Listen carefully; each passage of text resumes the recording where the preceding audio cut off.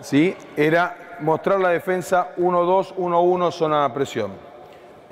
Nosotros siempre utilizamos esta defensa con, un final, con una finalización zona 2-3, pero con una, con una particularidad, que en el final del trap, por eso terminamos ahora con esto que quería mostrarle, porque si no después no va a tener sentido en el último bloque cómo romper la zona presión.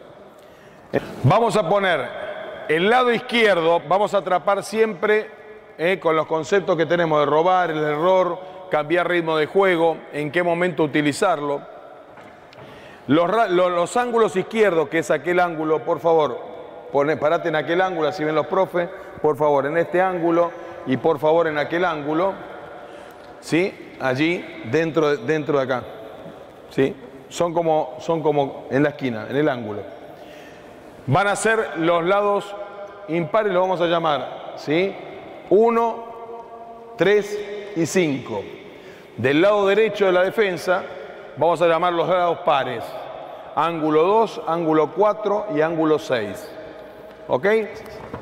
Características, porque uno por ahí quiere eh, jugar en esos ángulos. Recuerden, por favor, tomen nota porque no lo voy a poder anotar. Lado izquierdo de la defensa, nosotros defendemos este canasto. Son trap, zona presión, 1-2, 1-1. ¿Sí? Convertida después en una zona estándar 2-3. O podemos cambiar otro tipo de defensa que también las voy a mostrar, ¿sí? que les voy a explicar por qué la utilizamos. Lo utilizamos para lo que dijimos, pero nosotros acá vamos a poner la característica de los jugadores. Tenemos que tener jugadores atléticos, tenemos que tener un jugador ah, grande que sea bastante atlético. Por ejemplo, eh, Diego, Germán. Germán, si bien es grandote, él muestra que es atlético. ¿sí? Entonces, dentro, ponete allí, esta es la posición, va a ser la posición 5, usted está en defensa. Así, mirando para acá, mirando para acá. Defendemos aquel canasto.